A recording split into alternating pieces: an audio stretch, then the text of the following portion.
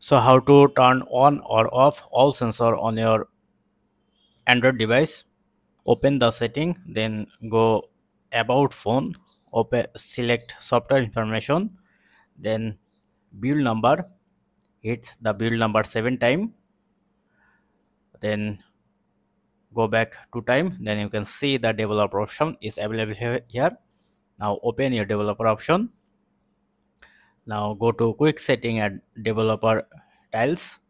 Then here you see the sensor. Just enable it.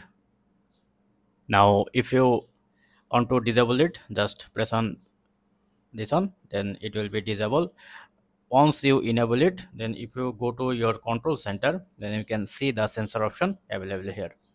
You can also disable it or enable it from here and if you are disable it from here then open the control panel then you don't see the sensor. So that's it. Don't forget to thumbs up and do subscribe. Have a good day